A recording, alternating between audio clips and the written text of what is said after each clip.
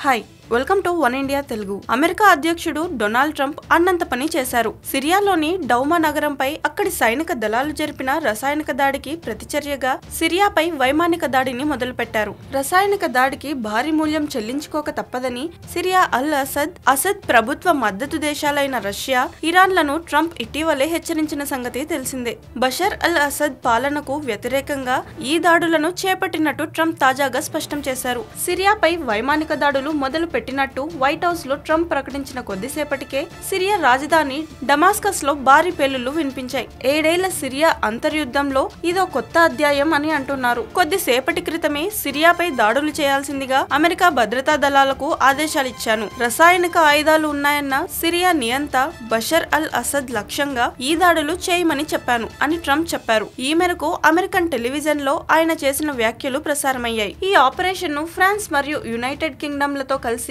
సంయుక్తంగా చేపడుతున్నాం. ఆ రెండు దేశాలకు ధన్యవాదాలు. రసాయనిక ఆయుధాలు కలిగి ఉన్న ఒక భయంకరమైన పాలన వ్యవస్థను కూలదోయడానికి జరుగుతున్న ఊచుకోత ఇది అని ట్రంప్ చెప్పడం గమనార్హం. అదే సమయంలో రష్యా ఇరాన్లను కూడా ట్రంప్ తీవ్రంగా హెచ్చరించారు. సిరియాకు ఎట్టి పరిస్థితుల్లోనూ మద్దతుగా నిలవరాదని వ్యాఖ్యానించారు. సిరియాలోని కెమికల్ ప్రొడక్షన్ను నాశనం చేసేందుకే ఈ దాడులు చేస్తున్నామని అమెరికన్ అధికారి ఒకరు తెలిపారు. దాడుల్లో వివిధ లక్ష్యాలను బట్టి పలు రకాల బాంబులను ఉపయోగిస్తున్నామని మరో అధికారి తెలిపారు. రష్యా ఇప్పటికైనా ఏదో ఒకటి తేల్చుకోవాలి. ఇంకా ఇదే చీకటి మార్గంలో పయనిస్తారా? లేక శాంతి కోసం మాతో కలిసి వస్తారా? అని ట్రంప్ ప్రశ్నించారు. Thanks for watching one India Telugu. For more interesting updates keep watching one India Telugu.